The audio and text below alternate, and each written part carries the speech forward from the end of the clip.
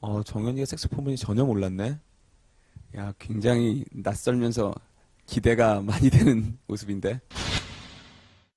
무대 경험 많은데 저는 항상 이제 팀으로 나가기 때문에 파트가 나눠져 있었는데 이제 혼자니까 혼자 그 무대를 다 제가 만들어야 되잖아요. 그게 부담감이 크고 제일 떨리는 것 같아요.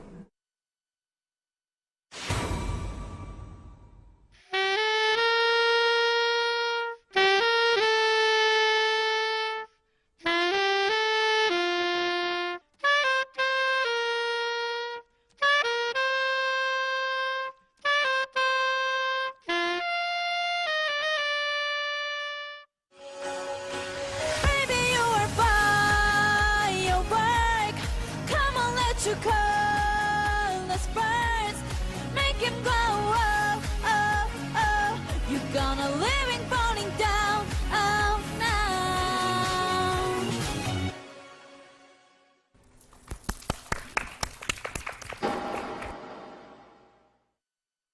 제가 했던 오늘 무대는 진짜 떨어져야 했- 했던 무대인데 한 번 더 기회를 주지 않을까 생각해요.